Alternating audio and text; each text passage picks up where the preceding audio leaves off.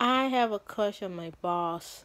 Story time. Yes, I currently have a boss. I currently have a crush on my boss. Sometimes I I try not to look, but I always end up staring at him, and it's mm, kind of awkward. But it's it's it's okay. But you know, it.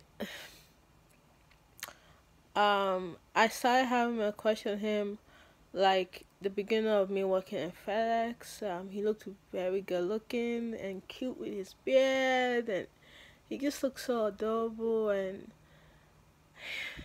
you know, yeah. Um, and I couldn't help but stare, but it's just a crush, so you know. Um, yeah, I have a crush on my boss. Um, and um, yeah, that's the video. Bye.